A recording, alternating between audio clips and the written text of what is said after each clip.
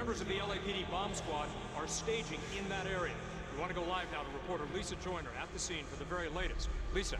Jack, the standoff began when police received an anonymous phone call stating that explosives would be detonated at this parking garage at 2nd and Broadway at 6 o'clock tonight. There's no, uh, they have no idea on a motive. The uh, victim, however, has been identified as Elizabeth Cooper of Las Vegas. Now, earlier What did you coverage, say? you saw the LAPD had surrounded the area. They've secured a perimeter, but now the bomb squad is making their way onto the uh, uh, uh, the deck of this building, and they're the men, men that are walking up with black suits on and such.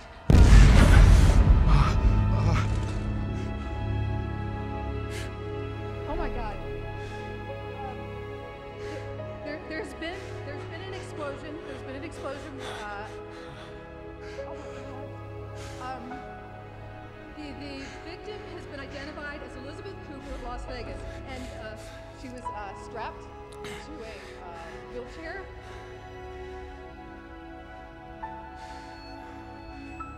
Um,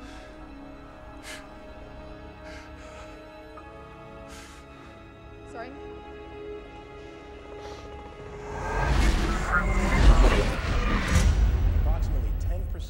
U.S. workers receive stock options. Many technology companies give the options away as part of their Tell me what just happened. I can't. It won't work like this. Just get me out of this room and I'll do what you want. I, I beg you, please get me out of this room. attract these top workers. Let him out.